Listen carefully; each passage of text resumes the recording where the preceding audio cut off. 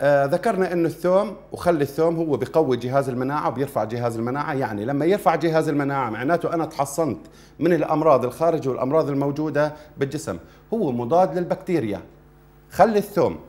أيضا بخفض السكر. الكثير من الناس بيبلع سن الثوم أو فص الثوم بيحكي لك إنه بنزل الضغط معي. هاي طريقة خاطئة. بسبب لنا المادة الكبريتية اللي فيه بتسبب لنا مشاكل بالمعدة.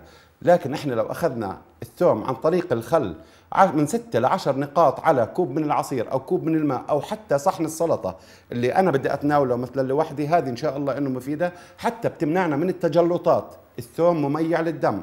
الثوم بخفض ضغط الدم. الثوم بكافح أمراض اللثة وأمراض اللسان. وحتى اللوز اللي بيكون عندهم التهاب باللوزتين.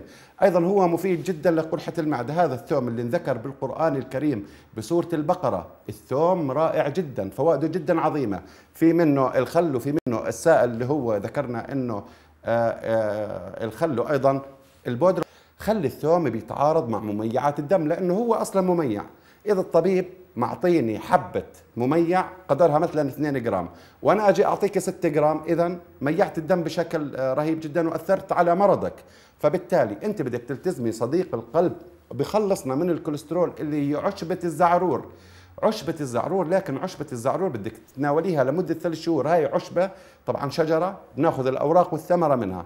بتكون ناشفة بناخذ ملعقة من مجروشها أو مطحونها نضعها بكوب من الماء بنصب عليها الماء الساخن إن حبينا نحليها بالعسل. إذا ما كان عندنا مرض السكر هو خير وفائدة. لكن مش حتستفيدي؟ ولا تستفيدوا من هذه العشبة في أسبوعين وثلاث. مشكلة العرب ما بيلتزموا. لكن إذا عدت للطبيعة رايح تلتزم. زمان ما كان في مستشفيات ولا كان في تشخيص ولا كان في أطباء. كانوا يعودوا للطبيعة. وما كانت عندهم أمراض القلب ما كان عندهم الشلل ما كانت عندها أمراض العصر اللي هي الآن.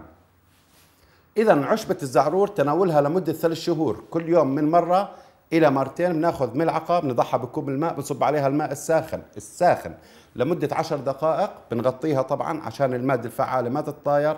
بنتناولها مرتين باليوم هذه إن شاء الله إنه مفيدة وحتى للشرايين حتى بتحمينا من تجلطات آه، القلب.